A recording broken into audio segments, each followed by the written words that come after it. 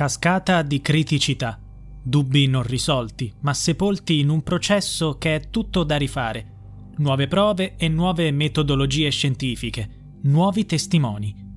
Durante la lunga arringa dei quattro difensori di Olindo Romano e Rosa Bazzi, coniugi condannati all'ergastolo per la strage di Erba, sono emerse frasi ripetute più volte. Dopo 17 anni dalla condanna definitiva, la Corte d'Appello di Brescia sta discutendo la richiesta di revisione del processo con la possibilità di un nuovo giudizio che potrebbe portare all'assoluzione di Rosa e Olindo, rendendoli quindi liberi. In tre gradi di giudizio, i magistrati hanno stabilito che la coppia era responsabile dell'omicidio di Raffaella Castagna, del piccolo Youssef di due anni, della nonna Paola Galli e della vicina di casa Valeria Cherubini. Inoltre hanno gravemente ferito Mario Frigerio, marito di Raffaella. I due vicini, intervenuti dopo aver udito le grida di Raffaella, hanno pagato un prezzo elevato per il loro gesto di altruismo.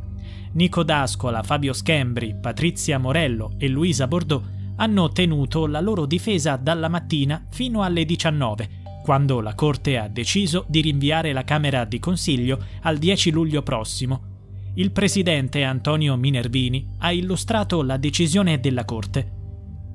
C'è tanta carne al fuoco. Se la Corte d'Appello non dovesse accogliere nessuna prova, ciò segnerà la conclusione del processo di revisione, con Olindo Romano e Rosa Pazzi destinati a rimanere in carcere a scontare l'ergastolo. L'accettazione di anche una sola prova garantirebbe il proseguimento del procedimento al centro della lunga discussione si è trovata soprattutto la testimonianza di Mario Frigerio, unico sopravvissuto e testimone unico della strage. Le sue parole, sempre costanti, precise e ripetute innumerevoli volte, hanno condotto per tre volte Rosa e Olindo Romano a essere condannati all'ergastolo. È stato Frigerio, scomparso nel 2014 e quindi incapace di ribattere, a identificare Rosa e Olindo come colpevoli. In aula, puntando il dito, egli indicò sono quei due delinquenti lì. Secondo Nico D'Ascola, uno dei legali del team difensivo, la testimonianza di Mario Frigerio sarebbe stata compromessa da un caso di amnesia anterograda, una condizione che causa la perdita di memoria a seguito di un forte stress o di un trauma significativo. Ecco le parole del legale. Frigerio ha eseguito un riconoscimento di Olindo solo nella quarta occasione, quando gli effetti di un'amnesia tardiva si sono verificati. Le dichiarazioni con le quali riconosce Olindo sono prive di contenuti. Il meccanismo che l'amnesia anterograda produce cancella i ricordi. Nelle fasi iniziali chi ne è affetto ricorda perfettamente, a distanza di 15 giorni non ricorda nulla.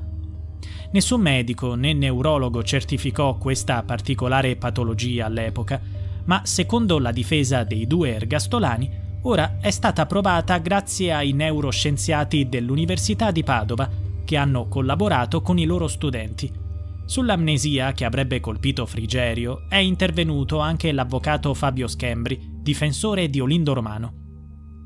L'amnesia anterograda di Frigerio è un dato certo i PM, quando il 26 dicembre vanno da lui, partono dal presupposto che il nome l'abbia già fatto e fanno per ben sette volte involontariamente domande suggestive.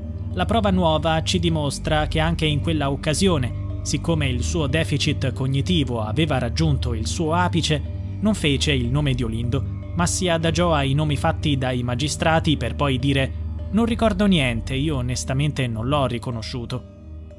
Fabio Schembri ha anche menzionato l'audio del 15 dicembre.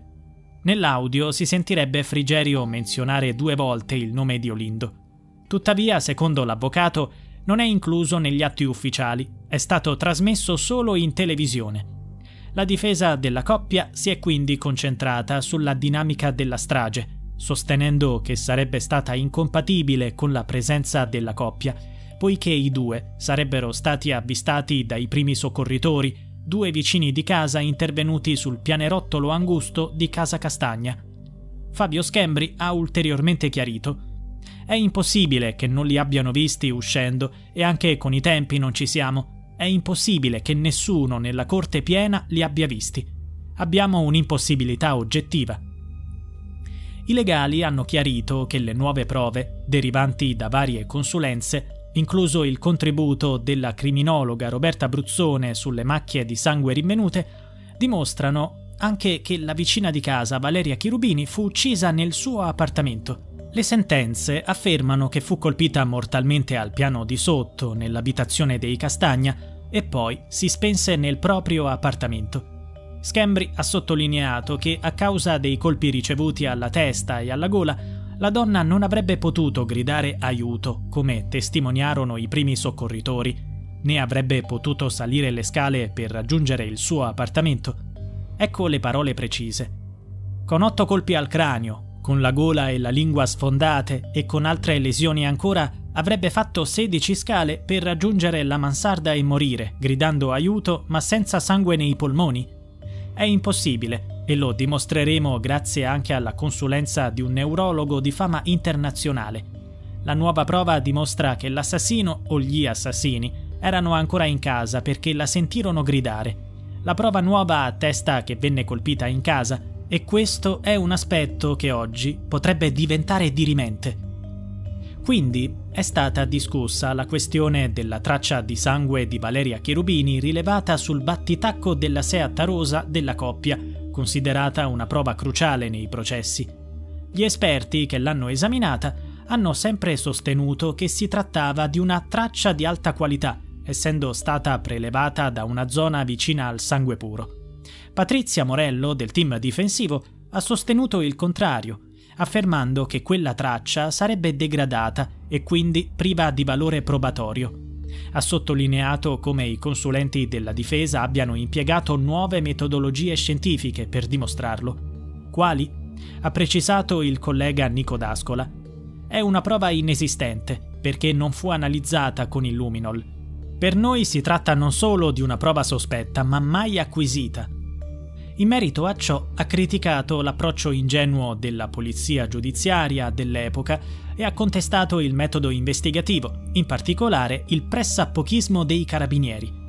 Si è anche discusso delle confessioni fatte da Rosa e Olindo, in cui ammettevano le proprie responsabilità nella strage. Secondo la difesa, Tali confessioni sono state estorte, poiché i due non erano mentalmente in grado di sostenere un interrogatorio. Questo solleva una domanda naturale. Cosa avrebbe reso le loro parole non veritiere? Sono stati presentati pareri di diversi consulenti come allegati all'istanza di revisione.